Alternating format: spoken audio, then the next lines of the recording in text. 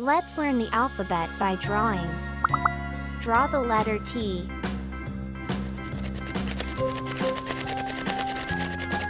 T.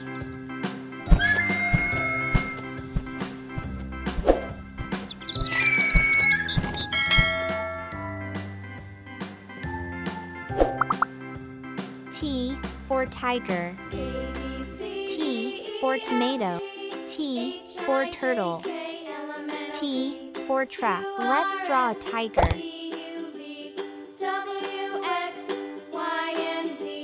Now I know my ABCs. Next time, won't you sing with me? Let's draw a tomato.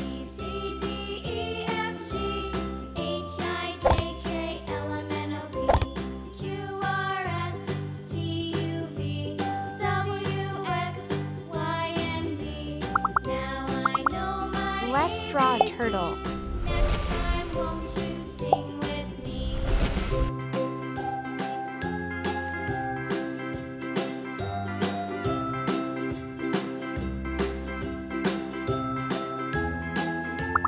Let's draw a track.